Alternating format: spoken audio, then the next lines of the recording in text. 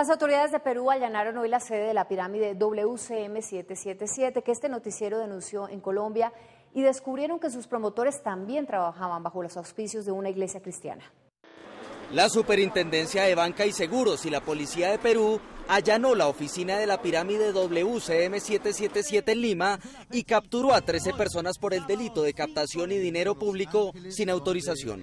Mil personas que ya habrían eh, confiado dinero a esta empresa y nuestra preocupación radica en cómo se va a lograr recuperar este dinero. El congresista Jaime Delgado, que lideró un debate en el Congreso de Perú sobre la aparición del esquema piramidal de WCM, afirmó que por medio de una iglesia cristiana se invitaba a la gente a invertir en el negocio piramidal. Y apelando a la fe, apelando a Dios, apelando a un nuevo orden financiero mundial. El gobierno peruano informó que dicha empresa no contaba con la autorización para realizar este tipo de operaciones y procedió a clausurar el establecimiento de manera definitiva. Estamos alertando público además, porque existen otro tipo de negocios similares que están eh, circundando por América Latina. El congresista peruano denunció que WCM 777 cambió de nombre para seguir promocionando su marca. Ahora se llama Kingdom 777. En octubre de 2013, Noticias 1 reveló la presentación en Colombia de WCM 777